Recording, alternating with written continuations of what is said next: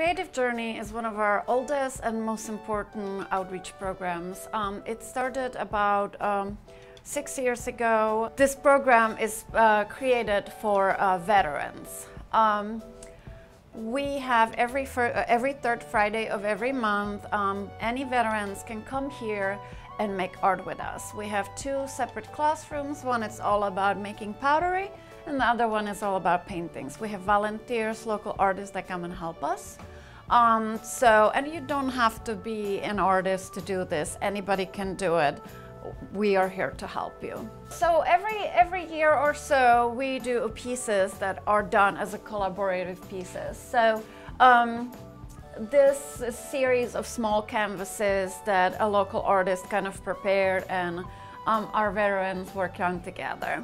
We actually, when this program started, it was very uh, specifically um, towards veterans that um, that endure injuries in um, in service, and as, as, art is so therapeutic, um, we are not art therapists, but when you come and make art, it makes you feel better, and so um, any veteran can come and make art with us.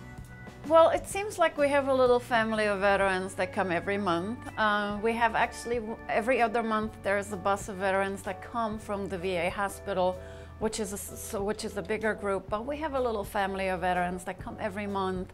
And it's just their outlet, it's just their place they go and they never want to miss. One of our oldest veterans that come here is in his um, mid 80s and um, his wife has to drop him off, but he will never miss.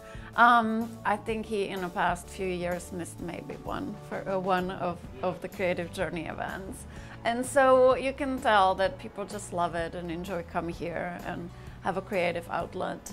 You can choose between pottery and painting. And we choose simple hand building projects. Um, um, and if you come next next time, you get to glaze your project as well. So you will you will go home, you know, with a completely finished project.